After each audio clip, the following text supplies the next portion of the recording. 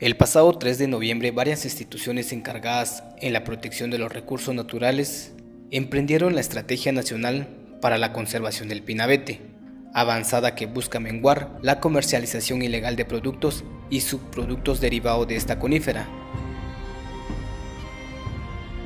Pero, ¿por qué hacer tanto énfasis en cuidar esta especie?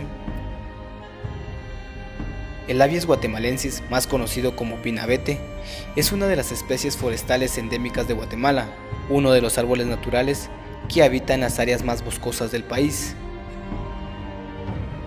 Actualmente, se contabilizan 604 plantaciones de este tipo, es decir, un estimado de 295 hectáreas.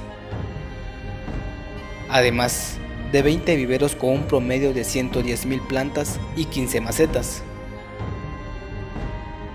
Este hermoso árbol de especie conífera solo germina en las áreas más lluviosas y heladas, a unos 240.000 y 340.000 metros sobre el nivel del mar, donde la temperatura puede oscilar entre los 11 y 15 grados centígrados.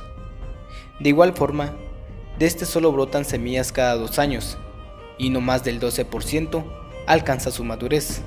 Por ende, cortar las semillas tiene efectos negativos en su reproducción.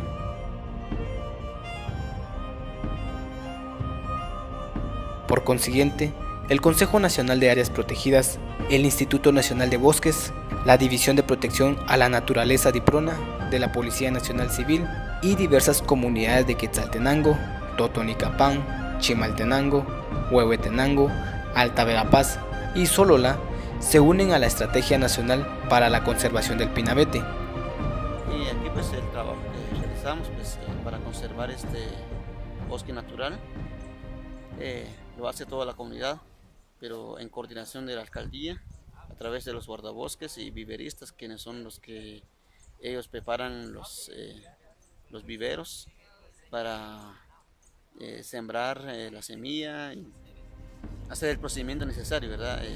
Ahora, la población guatemalteca tiene la alternativa de adquirir este producto siempre y cuando lleve marchamo, lo cual contribuye a la disminución del tráfico ilegal del mismo. Durante esta época las instituciones comercializarán 40.000 productos y subproductos derivados de esta conífera.